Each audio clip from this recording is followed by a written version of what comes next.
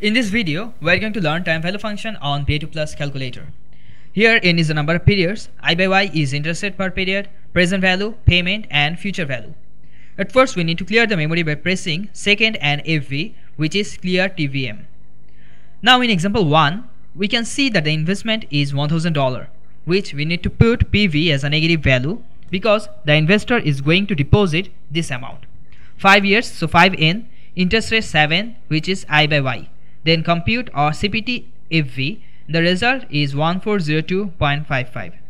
In example 2, he also deposits $50 at the end of each year.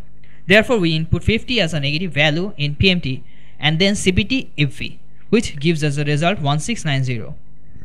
In example 3, there are two changes. The first one is that he deposits $50 at the beginning of each year. So we need to change the mode into beginning mode by second PMT and second enter.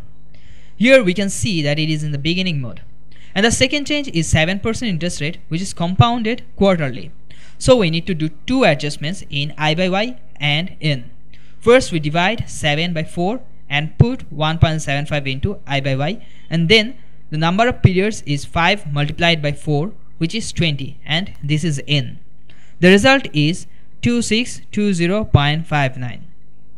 In summary, if we have any four values of time value of money, then we can get the last one by simply pressing CPT and the last factor.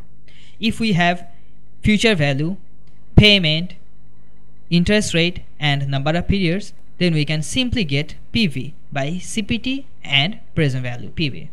This is a time value function of BA2 plus calculator. Thank you so much.